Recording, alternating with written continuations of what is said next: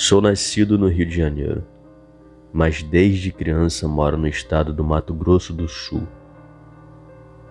Minha história foi há muito tempo atrás. Hoje eu tenho 49 anos de idade.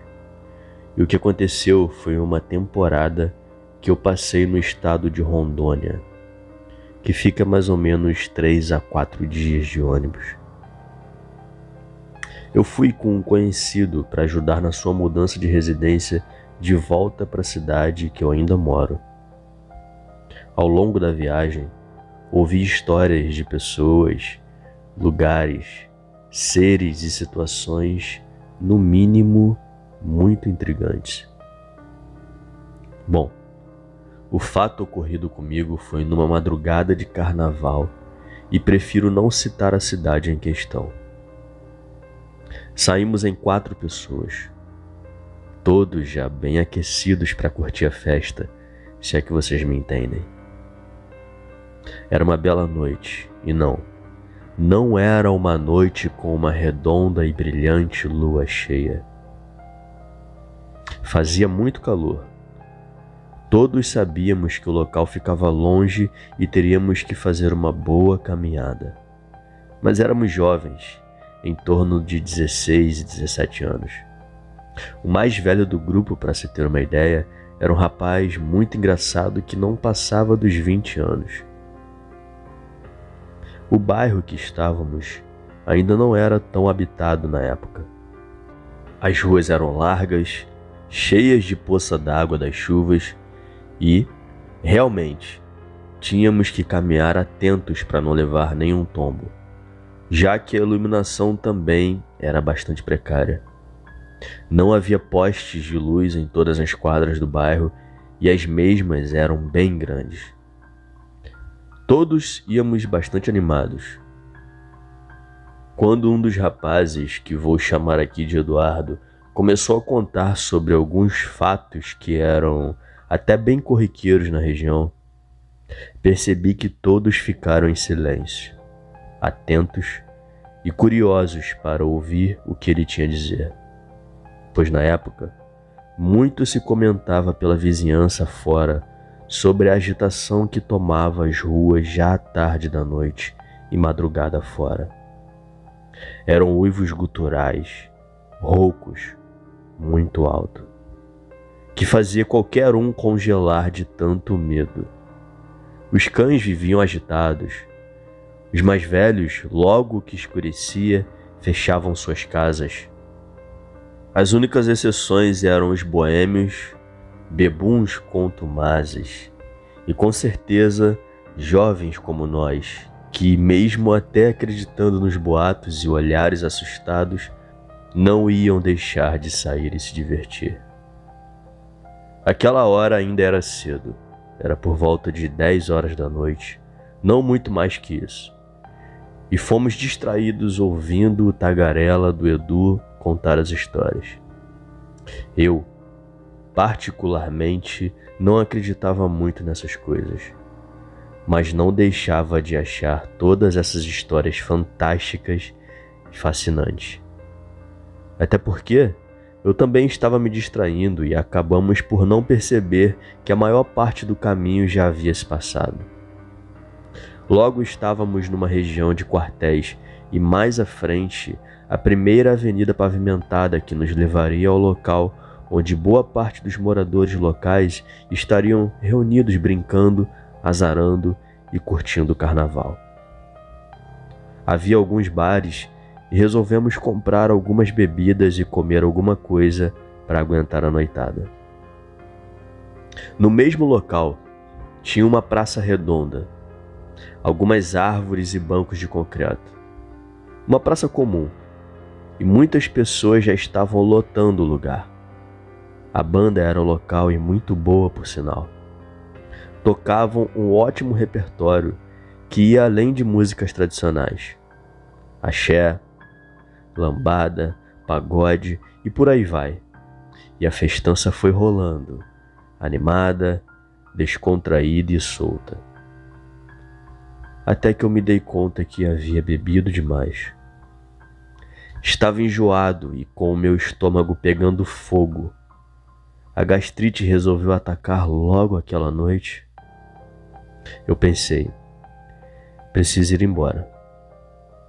Os meninos viram que eu realmente não estava com uma cara nada boa.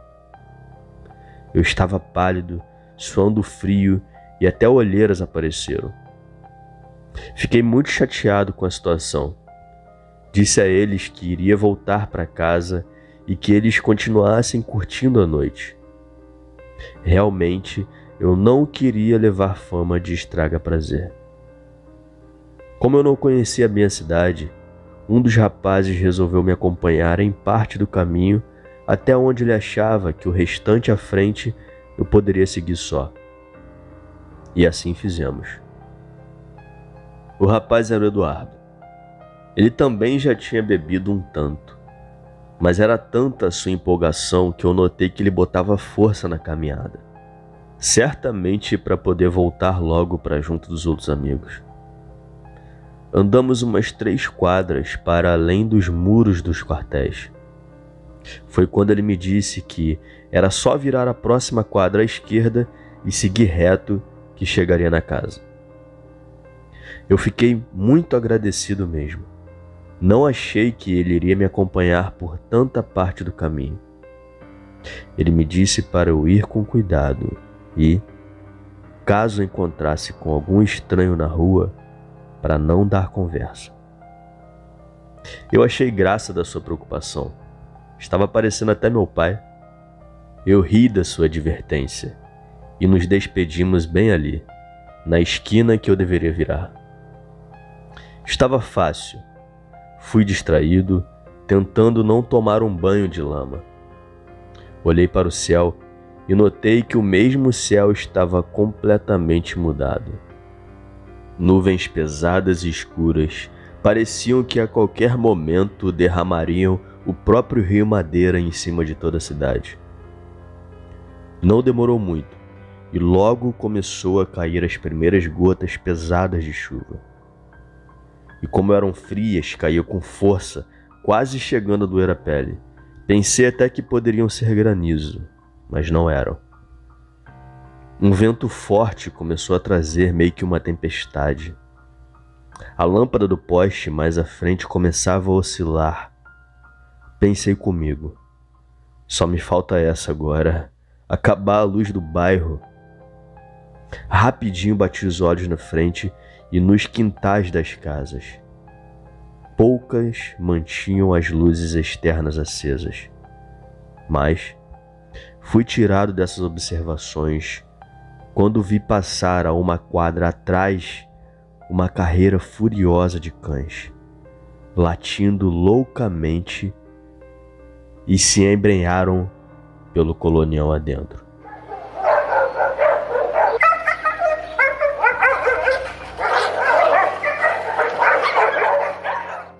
Na mesma hora eu lembrei com raiva das histórias que o Edu vinha contando.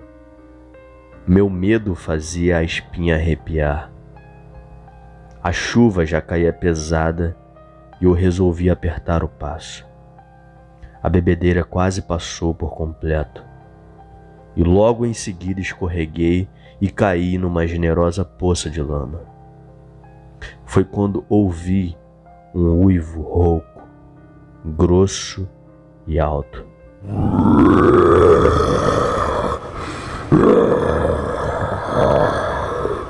E esse uivo mais parecia com um lamento ou com dor. Levantei mais que depressa e saí que nem um louco correndo rua fora. Eu ouvia a briga, os cães latindo e também ganindo de dor.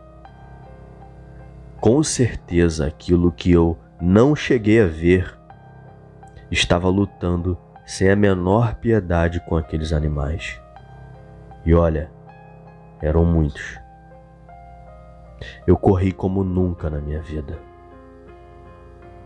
Agora faltava pouco, mas sabia que se aquele ser vinha pelo mato, escondido, logo atrás de mim,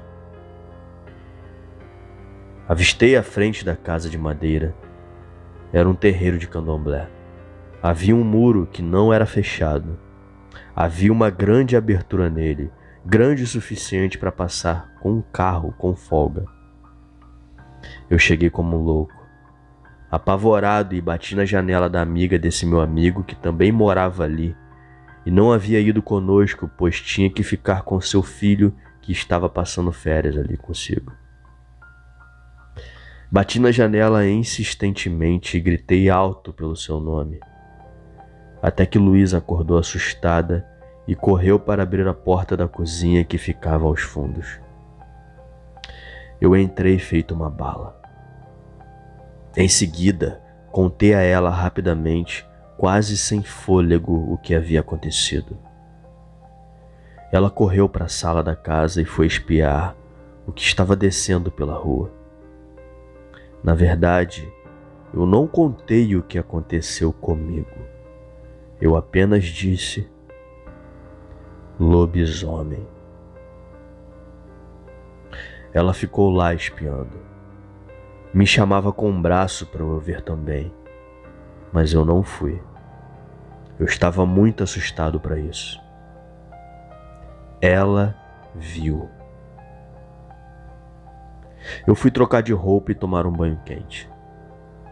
De resto, passamos noite adentro com ela me perguntando cada detalhe. Ficamos ali, sentados na mesa da cozinha até meu amigo voltar com o grupo. Não preciso nem dizer que o Edu adorou mais que qualquer outra pessoa. Eu imagino que ele deva contar essa história até os dias de hoje. Eu não vi, mas afirmo que aquilo que eu ouvi já é o suficiente para deixar uma pessoa assustada por muito tempo.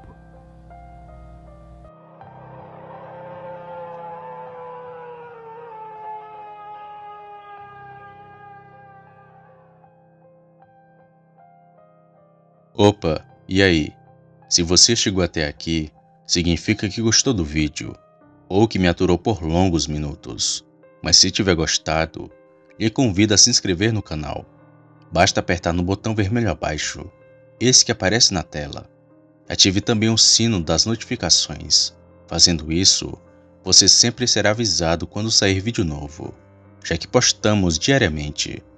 Deixe o like para fortalecer o canal e compartilhe o vídeo para que outras pessoas vejam e assistam.